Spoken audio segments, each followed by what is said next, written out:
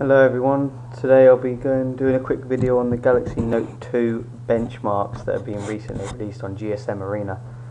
Galaxy Note 2 was released, or announced I should say, about a week ago. And some people have been lucky enough to play with it because they actually went to the event. What we know about it is it's got an Exynos 4421 chipset which is a quad-core device um, at 1.6 gigahertz. This is actually the same CPU and GPU that's in the Galaxy S3 but overclocked. Um, and it's got 2 gigabytes of RAM which is awesome! Um, but here are the benchmarks. Right, These two, Linpack and Benchmark, here are CPU based. Um, and you can see it's topping both of them.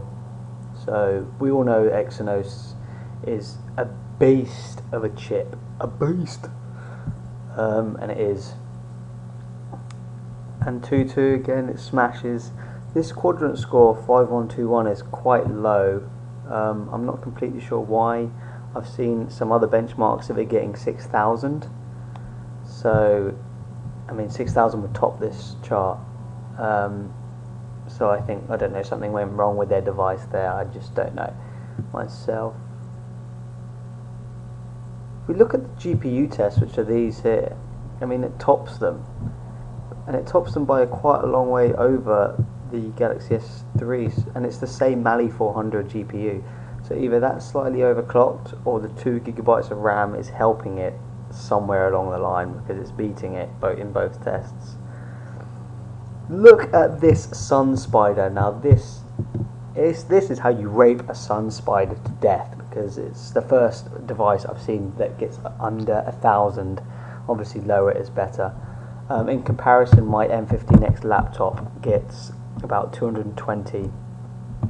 So this thing is going to load web pages like boom.